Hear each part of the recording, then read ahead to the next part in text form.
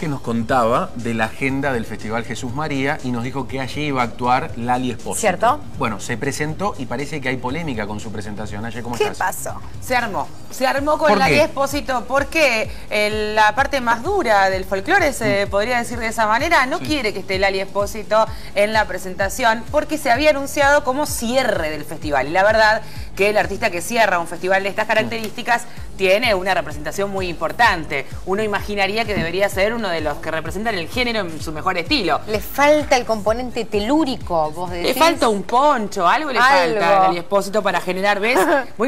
Imagínate esto Eso no después tiene de, nada que ver mucho. de la doma y el folclore. Por ahí Yo creo que es raro, por lo menos. Eh. No, está bien, me está buenísimo lo que hace, a los chicos eh, jóvenes, como nosotros les encanta y todo. Pero no es la Sole. Pero no es la Sole.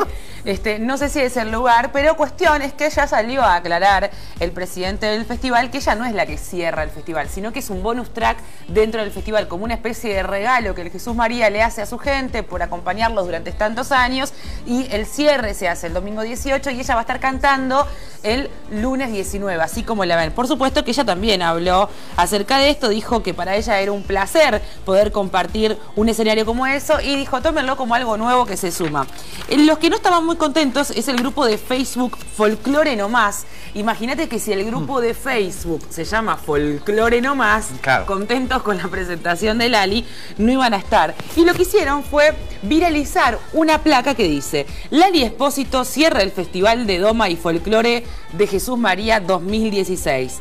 Perdón Atahualpa, Cafrune, Mercedes, Hernán, Los Chalcha, Falú, Ariel Ramírez, Chango Nieto, bueno, y los nombra a muchos de los artistas importantes. Cuestión es que ya la presidencia de este festival salió a decir, no es la que cierra, es un regalo que le hacemos a nuestra gente, así que no se pongan nerviosos, no pasa nada, ahí la van a tener a Lali así como está ahora. Se va a presentar, pero no va a cerrar el festival entonces. No, pero va a estar el lunes 18, o sea, el Claro. festival, el último, el artista que ellos consideran de cierre va a estar el domingo a la noche, Hmm. el domingo 17, bueno, ella va a hacer el bonus track el lunes 18, o sea, dentro del festival va a estar, pero no quieren que la consideren el artista de cierre. Me parece bien.